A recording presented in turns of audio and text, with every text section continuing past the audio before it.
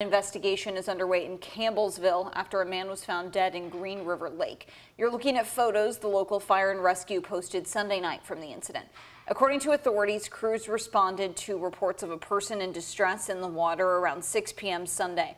When firefighters arrived, they found a vehicle in the lake. Three public safety divers began an underwater search, finding a 69-year-old man about an hour later. He was pronounced dead at the scene. At this time, it's not clear what caused the man's death nor what led to his vehicle being in the lake.